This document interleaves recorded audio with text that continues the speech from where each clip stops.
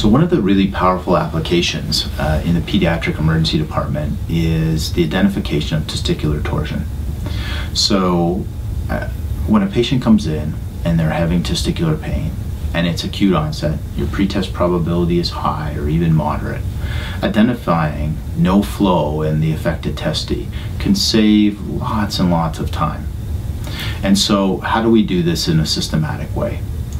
Well, what we do is we begin with the unaffected testy and we look at the architecture of that testy and then we look at the flow. And we can just do this with bidirectional color flow. And we just need to make sure that we set our scale appropriately. And then we take that same setting and we move to the affected testy. Again we look at the architecture is the testy becoming boggy? Is it edematous? Is it heterogeneous? These would all be indications of a testy that's been torsed for a long period of time. And then we look to see if there's flow using the same flow settings that we did on the unaffected side. And if we don't see any flow and our pretest is high, then we need to speak to urology ASAP. If we see increased flow, you know, does that mean that we've got an infected testy, that we have an epididymitis or chitis?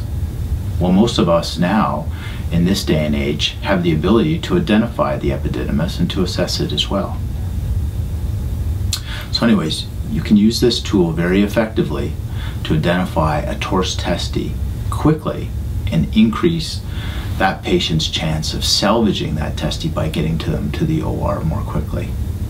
Of course, the key part is making sure you understand the scale. You don't want to have the scale wrong and look at a testy and misidentify it as having no flow when you've just set your scale parameters at the wrong levels.